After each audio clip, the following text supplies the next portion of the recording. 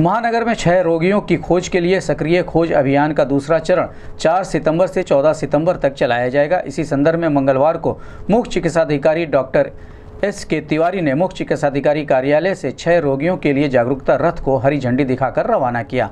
इस अवसर पर जिला क्षय रोग अधिकारी डॉक्टर रामेश्वर मिश्रा, समन्वयक Dharmveer Pratap Singh, doctor Sunil Singh, Dipesh Singh K K Shukla, Abhay Kumar Singh, A N Mishra सहित विभाग के अन्य अधिकारी और कर्मचारी मौजूद रहे। इस संबंध में गोरखपुर न्यूज़ संवाददाता से बात करते हुए मुख्य चिकित्साधिकारी डॉक्टर एस के तिवारी ने कहा।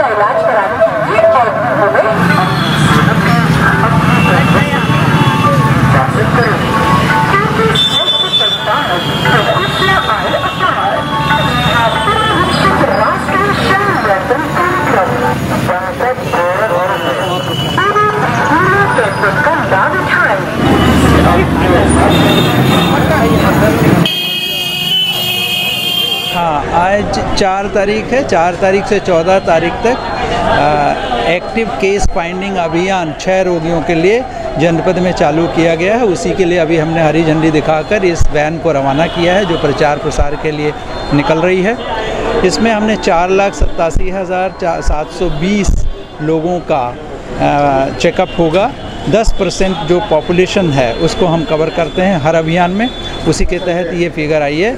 207 हमारी टीमें हैं। प्रत्येक टीम में कई लोग हैं और कुल मिला के 624 लोग इसमें कार्य कर रहे हैं। 20 बीस सत्ताईस हमारे सुपरवाइज़र्स हैं और एम भी बीस बाईस लगाए गए हैं।